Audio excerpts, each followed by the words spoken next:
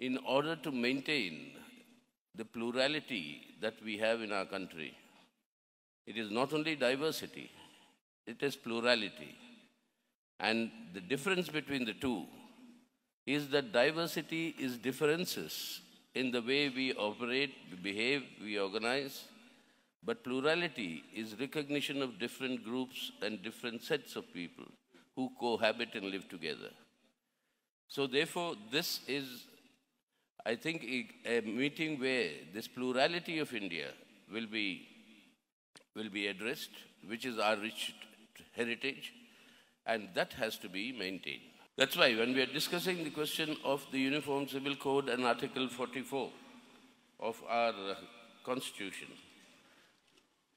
we must recollect very briefly what the discussion in the Constituent Assembly was when Dr. Ambedkar, Dr. Baba Sahib Ambedkar, in part of the discussion, talked in terms of saying that this is an effort which has to be undertaken and achieved only through the cooperation of all sections of the people and through very, very deep discussions.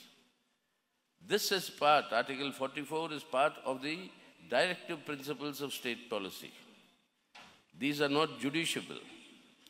Many, many noble ideas are there in it. And in fact, 43A talks of what Comrade Kareem is very adequately advocating of workers' participation in management. That is also a constitutional provision. But nobody talks of such uh, provisions to be implemented. So there is a motivation why it is being raised today and why it has consistently been raised by the BJP as part of its three core communal issues.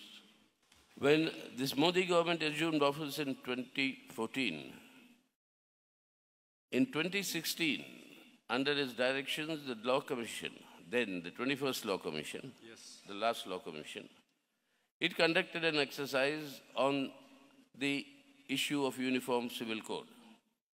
For two years, talking to all sections and all stakeholders, it came to a final conclusion in 2018.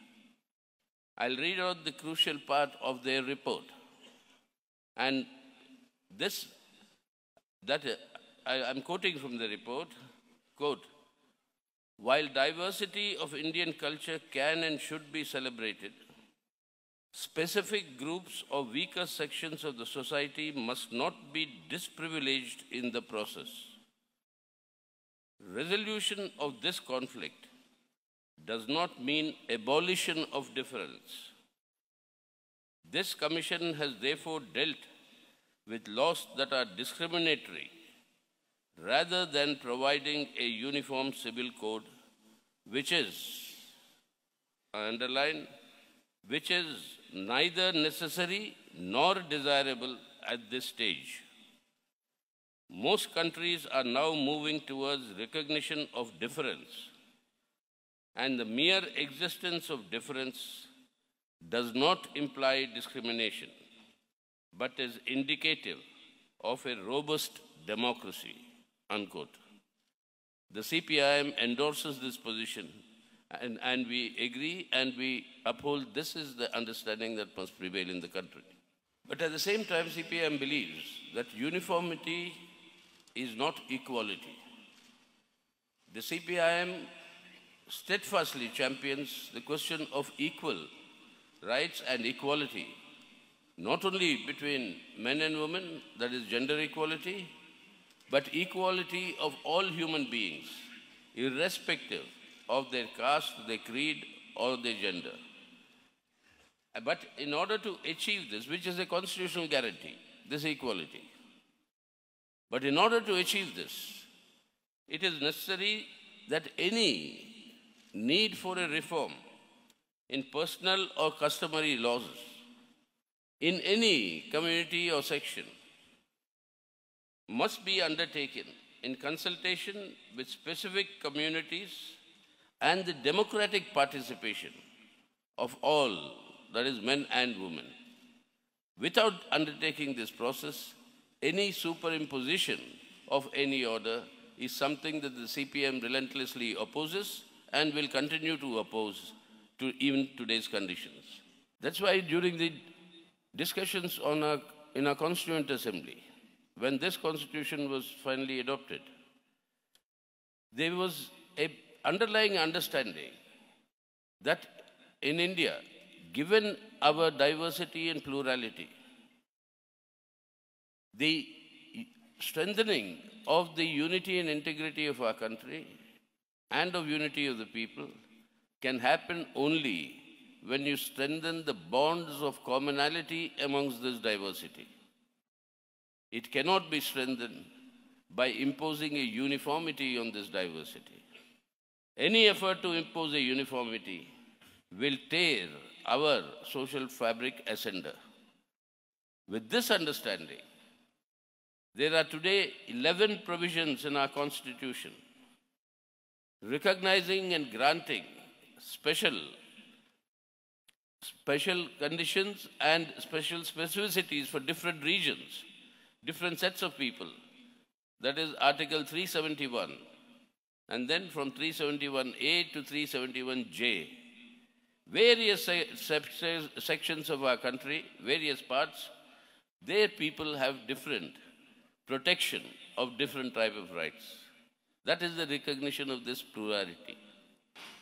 And then you have from Articles 25 to 30, the sixth schedule under Article 244, the fifth schedule which gives Gram Sabhas for the tribal areas, all these constitutional provisions exist today as law in our country, and that is the recognition of our plurality. We can give millions of examples of how plural our society is, and this is not confined to any one religion or between, between one or two religions.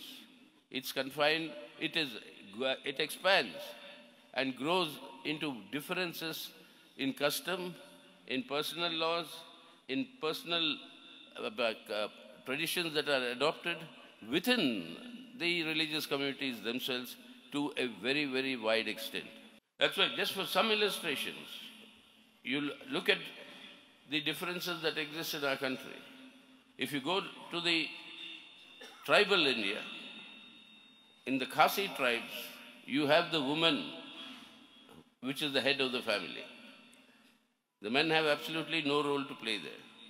In terms of even property divisions, it is the woman and legally, it is the woman that has the right and to enter into property disputes. You go today to Kinnaur in Himachal Pradesh, that district bordering uh, I mean, our international borders. In that district, the tradition is that every woman will have five husbands, like Draupadi did in the Mahabharata. That tradition is continued and followed till now and it's accepted under law.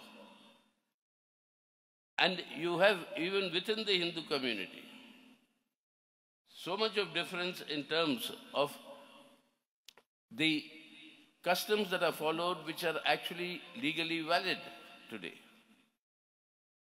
I'll tell you one personal incident. I'm born into a family where the my mother's brother could have married me if I was a girl. My maternal uncle can marry the maternal niece. That is allowed. So the story goes that my maternal uncle, who retired as a distinguished uh, IAS officer, who served as the Chief Secretary of United Andhra Pradesh, when I was being born was telling my mother to produce a daughter so that he can marry. But then I turned out to be a son, but that is a different story. But the point is the same practice is taboo in the, I mean, very nearby within the same Hindu community. You go next door. I was born in today's Chennai, Madras. There in that society, you can marry your first cousin. But in my uh, what you call community, marrying your first cousin is incest or a crime. In their community, marrying the maternal niece or an uncle is a crime. Now, what are these laws? I mean, they're all part of the same Hindu community. So, what is this uniformity that is being talked of?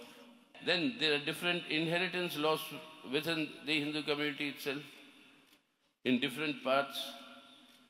Women's role in the inheritance is always been under a question mark, and big struggles had to be waged by us in order to give them equal, equal share in the property.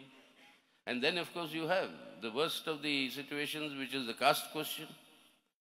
Even today, the question of widows' remarriage, even if you have the law, what is the practice?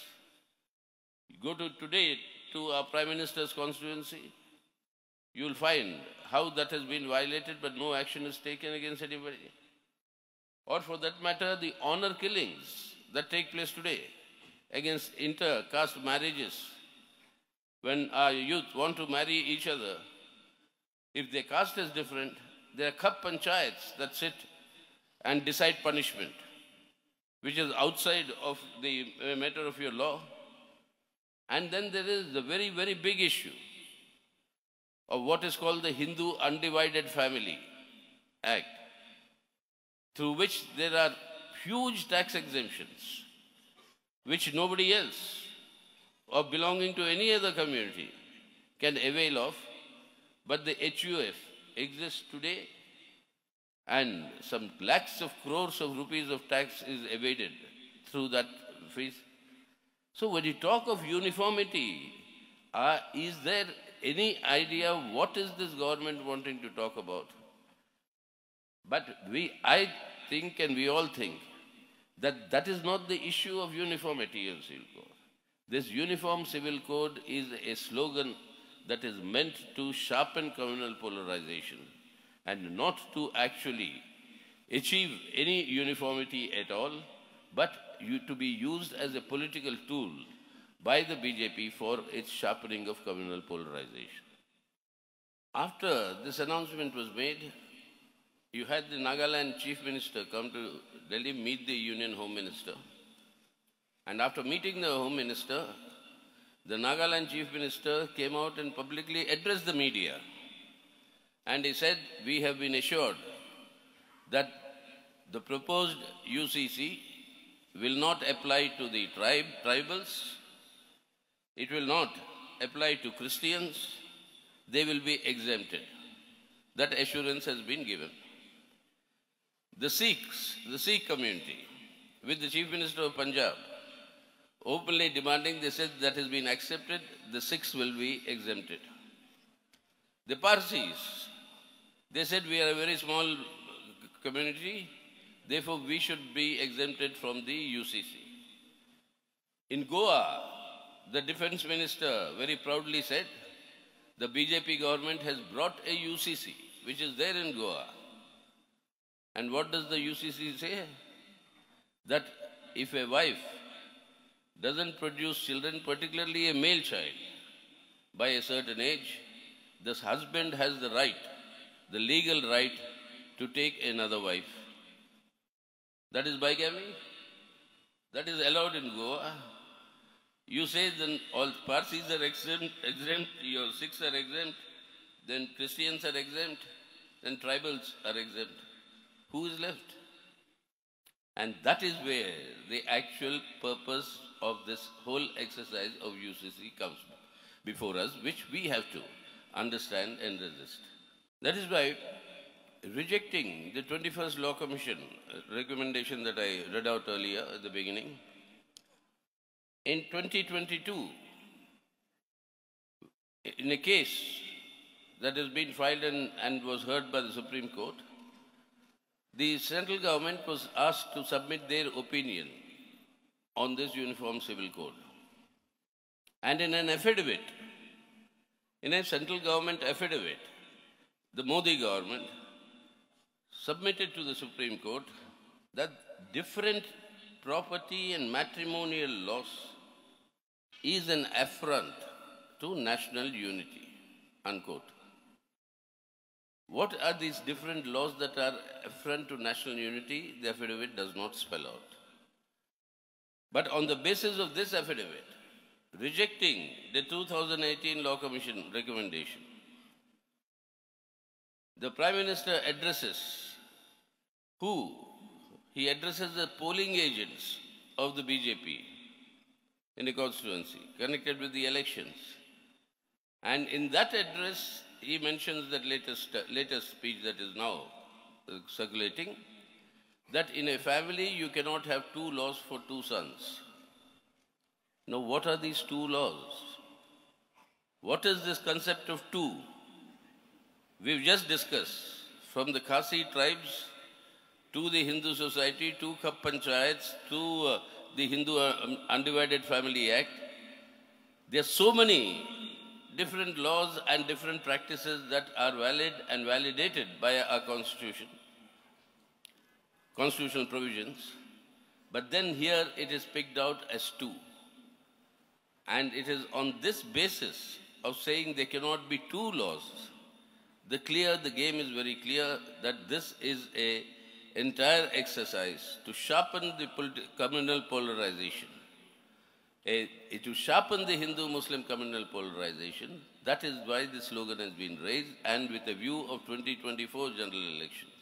This is the entire game that is being played out. That is why this whole exercise that has been initiated now, the focus on the Uniform Civil Code, the suspicion why this is raised for is basically for sharpening polarization that becomes stronger on the basis of the background of developments that have taken place during the last eight, eight nine years. You have laws in the name of love jihad, where a particular community is targeted. You have laws which actually now restrict interfaith marriages, dissuade them that they should not take place, or create conditions where it becomes very difficult for youngsters belonging to different faiths to get married. Even though you have a special marriages act in the country that permits them. You have laws in all BJP rule states in the name of cow protection where a certain community is being targeted. And then you had the CAA that's brought out where the focus target was that of our Muslim brothers and sisters. And then, of course, you had the abrogation of Article 370 and the dissolution of the only Muslim majority state in India, that is Jammu and Kashmir. Now, all these things, the string of these developments, and on top of that, this being said by the Prime Minister today of saying that two laws cannot be, when you have these multiple differences that we discuss now. Why the singling of the two laws? That is what strengthens this, this particular suspicion that this is actually a weapon for communal polarization to be used for electoral and political purposes in the 2024 general elections. That is why today it's not only communal polarization for electoral purposes or political purposes. That of course it is. But it is much more dangerous in the sense the very unity, integrity of our social fabric. If that has to be maintained, these sort of divisive, polarizing slogans and efforts in order to achieve their political objective, that is very dangerous to the concept of India as we all know, as defined in our constitution.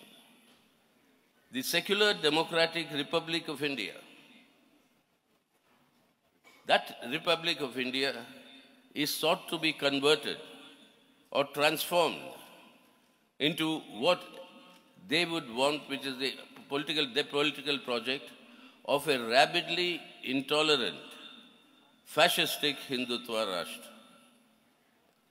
If this project has to succeed, then the present constitution the present constitutional order, that cannot exist. If that exists, then this or this transformation is not possible. That is why you find today a relentless attacks on the four foundational pillars of our constitution. Secular democracy, economic sovereignty, social justice, and federalism. These four are being assaulted. And part of this fourth assault to convert the secular democratic republic into their intolerant fascistic Hindutva Rashtra, it is necessary to sharpen this communal polarization. That is why not one word comes out of our Prime Minister against all these calls for genocide that are given by various so-called leaders of religious faiths of the Hindu community. 75 days, an ethnic conflict is going on, again connected with the civil code. Ethnic uh, conflict going on in Manipur, but not one word from our Prime Minister. Means what? allow these tensions and strife to continue. And the larger design is to change the character of the Republic of India. So this struggle today, the Uniform Civil Code is part of the larger struggle to safeguard and preserve the character of independent India, which is based on the foundations of plurality and the recognition of equal status to every single diversity that we have in our country, whether it's language, whether it's religion, whether it's custom, whether it's our traditions, etc. That sort of an India which we have to build, that is being destroyed, and this is part of that larger agenda. That is why we all have to realize, my dear friends, that this is a battle that will define whether India that is Bharat will remain the secular democratic India that we all know of, in which all of us were born. This is the larger political battle. And that is why the CPM is very clear. We are saying that we go by the understanding that we always maintain, but the 21st Law Commission also has said that we should deal with laws that are discriminatory laws, practices, customs in every community, every section that are discriminatory. That has to be corrected in consultation with the entire community. And it is not a question of a uniform civil code being imposed from the top. That is why uniformity does not mean equality. The CPIM stands for equality like the Constitution of India stands for equality. And it is that equality that we should all fight for, that every one of us is first a human being and then everything else that follows. And that is why I'm so glad that this is taking place in Kerala and that too in Calicut, because I've always been proud since I've come into politics, half a century ago, I've always been proud of one fact, that wherever I traveled in India, to every, and I've traveled all over India. But the only place where I go, where nobody asks me, what is my religion, what is my caste, where do I come from, only place where I'm treated as a human being is in Kerala. And it is, it is that equality of the human beings that has to be maintained. And all these sort of slogans that try to divide and disrupt this, that has to be relentlessly fought. The CPIM assures you all that we have always fought that and will continue to fight it. And together, Kerala must lead and show the way to the rest of the country to safeguard India today, the secular democratic character of the Indian Republic, so that we can change India for a better India tomorrow for all our people. So thank you. Thank you very much for your.